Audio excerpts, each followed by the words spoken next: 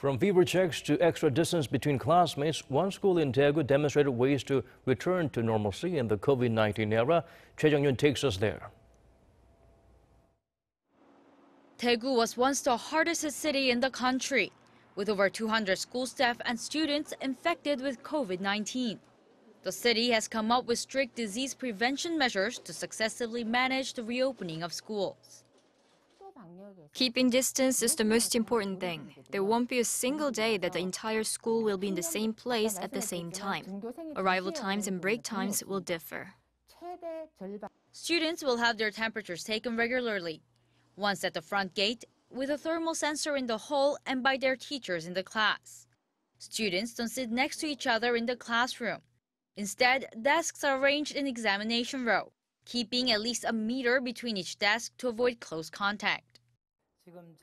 During class, students and teachers must all wear masks I will refrain from teaching at close distance. Teachers will have to disinfect doorknobs regularly to prevent any possibly infected student from spreading the virus. The class will be kept at a low temperature with educators constantly ventilating the area. Hand sanitizers, masks, gloves, and a thermometer will be kept in the corner of the classroom. Students must also keep their distance during lunchtime. In order to minimize contact and prevent infections, schools have installed transparent partitions on the dining hall tables. They will sit on one side facing the same direction, or in a zigzag leaving the front and side empty.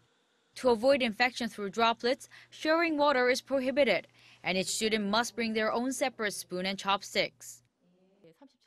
Students with a temperature over 37.5 degrees Celsius, a sore throat, or a cough must go home. Additional symptoms like nausea, diarrhea, and loss of taste or smell have been included. Students who have symptoms have to wait for guardians at the temporary observation room. Those who've been previously confirmed to have the virus will have to get tested again before coming to school. 최정윤, 아리랑 뉴스, 대구.